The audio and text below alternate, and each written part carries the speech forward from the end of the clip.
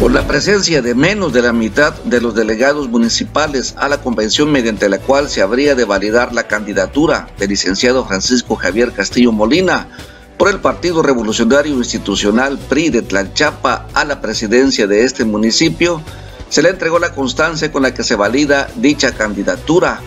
Fue el delegado del PRI en Tierra Caliente, Salustiano Guillermo Limones, quien leyó la minuta de acuerdo mediante la cual Supuestamente la Comisión Estatal de Procesos Internos que preside Violeta Muñoz Parra valida la candidatura del licenciado Francisco Javier Castillo Molina.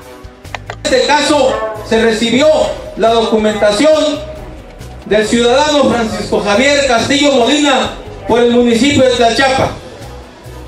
Después del correspondiente análisis realizado al expediente presentado el día 5 de febrero del presente año, la Comisión Estatal de Procesos Internos acuerda entregar el presente informe sobre la solicitud de preregistro presentada por el C. Francisco Javier Castillo Molina para que se le autorice representar a la coalición del Partido Revolucionario Institucional y el Partido Verde Ecologista de México.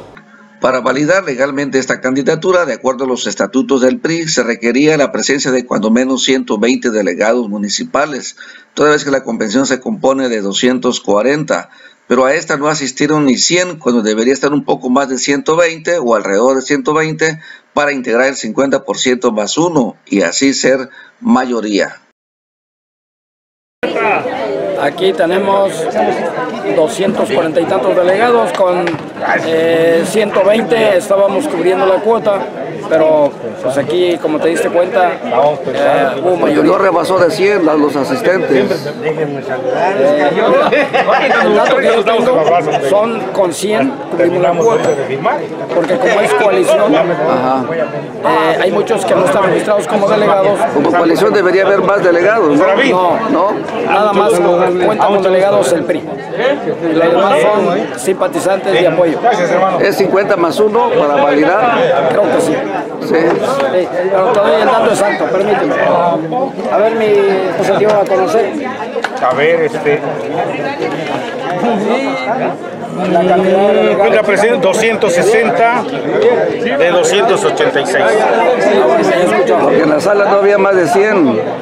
Ah, pero nosotros aquí ya tenemos la relación desde muy temprano estuvieron en la sala muy pequeña. no estuvieran presentes en toda no, la... No, no, no, sí estuvieron, aquí están sus nombres, de los 260 delegados, de 286 que es la relación que se tiene aquí. Muchas gracias, licenciado. Gracias, ingeniero. Para servirte.